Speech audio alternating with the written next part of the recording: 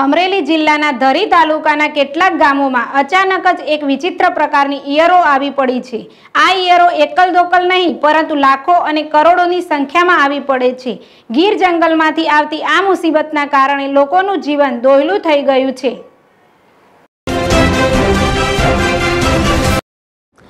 જુઓ આ દ્રશ્યો, આ એક વિચિત્ર પ્રકારની ઈયરો છે, જેને છેલ્લા એક અઠવાડિયાથી આ ગામ પર જાણે કે રીતસરનો હુમલો કર્યો છે. એકી સાથે કરોડોની સંખ્યામાં ઈયરો આવી ચડતા સ્થાનિકો મહામુસીબતમાં મુકાયા છે. દિવાલો પર ઘરમાં રસોડામાં જ્યાં જુઓ ત્યાં ઈયરો. એ પોતાનું સામ્રાજ્ય જમાવ્યું છે. મહિલાઓ રસોઈ બનાવવા માટે રસોડાના બદલે ખુલ્લામાં પલંગ પર રસોઈ બનાવવા મજબૂર બની છે. સ્થાનિક આગેવાનો દ્વારા દર વર્ષે આ અંગે સંબંધિત સરકારી વિભાગને જાણ કરવામાં આવી છે. પરંતુ તેનો કોઈ ઉકેલ આવતો નથી.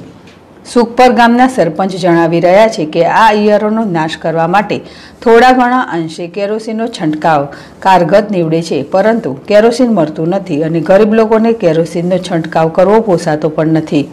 કાંગસા ગામમાં હજુ ઈયરો આવવાની શરૂઆત થઈ. હજુ આ ઈયરો મોટા પ્રમાણમાં જંગલમાંથી ગામ તરફ આવી રહી હોવાનું પણ સ્થાનિકો જણાવી રહ્યા છે. આ સંજોગોમાં લોકોને મુશ્કેલી વધશે તો ચોક્કસ છે. અશોક મણવર, જેડેશ ટીવી, અમરેલી. સરપંચ આ ઈયળોનો ત્રાસ છે તમારા ગામમાં?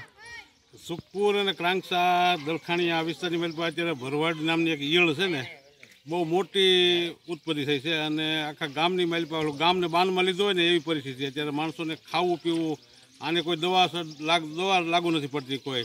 એક જ આનો રસ્તો છે કેરોસીનનો છંટકાવ કરીએ.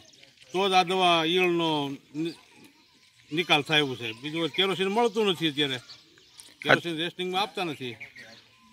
દર વર્ષે આવે છે દર વર્ષે આ આવે છે. અને આ તો ઘણા સમય